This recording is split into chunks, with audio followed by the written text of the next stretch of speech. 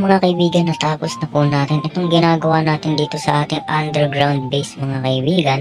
At syempre, itong lalag paglalagyan natin ng underground base na to is um, enchanting enchanting book or enchanting table mga kaibigan. So dito tayo mag enchant mga kaibigan at dito rin tayo magpapa-XP mga kaibigan. Syempre, yes, tapos iibahin ko yung daanan sa aking mining area. So dito yung mining area pero lalagay ko siya dun sa may taas. Syempre guys, pero tignan nyo po ang ginawa ko almost 2 hours din ang ating paggawa mga kaibigan dito sa ating labas. At ito na nga po, inayos ko na nga po siya mga kaibigan at epal yung ulan mga kaibigan, joke lang.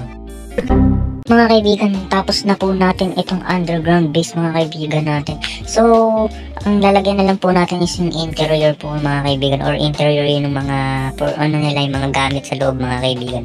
Pero dito sa labas okay na mga kaibigan, lalagyan na lang natin ng mga design-design dito sa may gilid mga kaibigan. Para naman goods, syempre.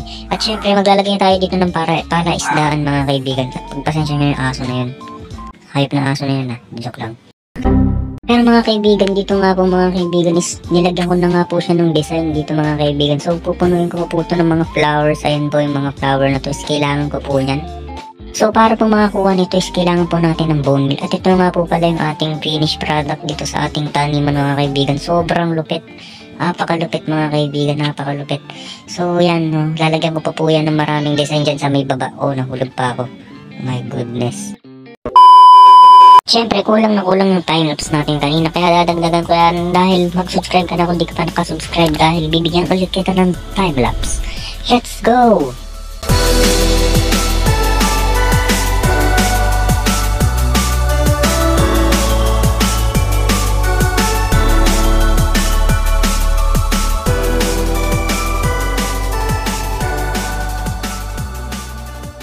So mga kaibigan, ito na nga po ang ating nagawa. No? Ito na nga po yung kinalabasan niya mga kaibigan. So napakaganda. Yes, napakaganda niya mga kaibigan. So nilagyan ko siya ng mga outline dito sa ating pathway mga kaibigan.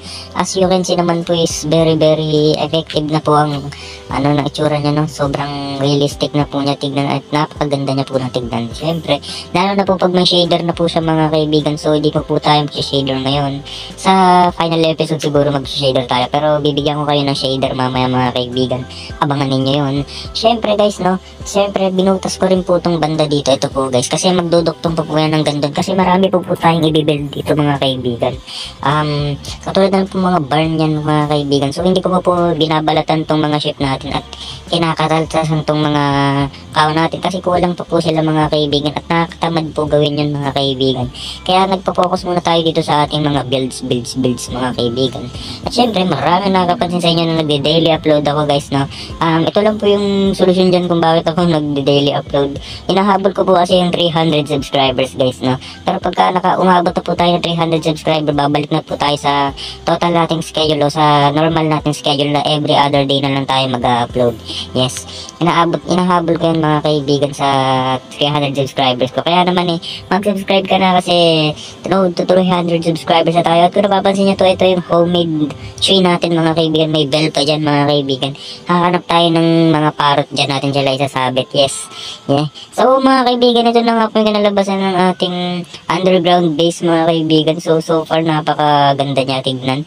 Ano may mga ano siya, may mga design siya sa sa gilid, yeah. So lalagyan pa natin to ng ano no, boat Yeah, boat, may boat dyan tapos para para isdaan mga kaibigan.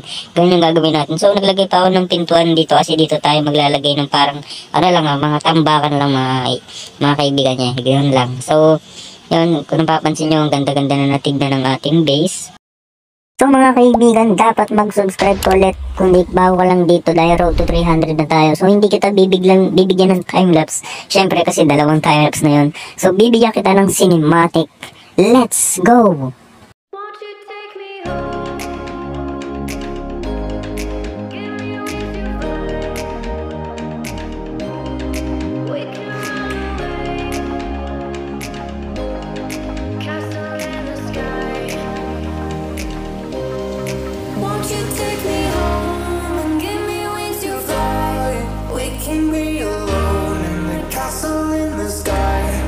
We can run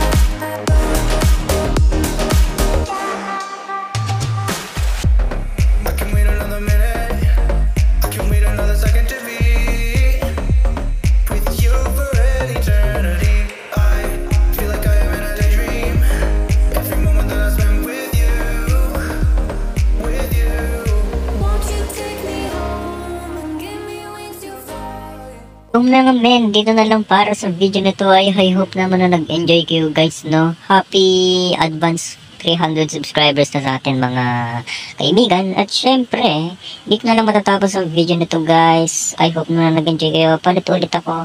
Pero yun lamang po para sa video na to. Hanggang sa muli. Paalam!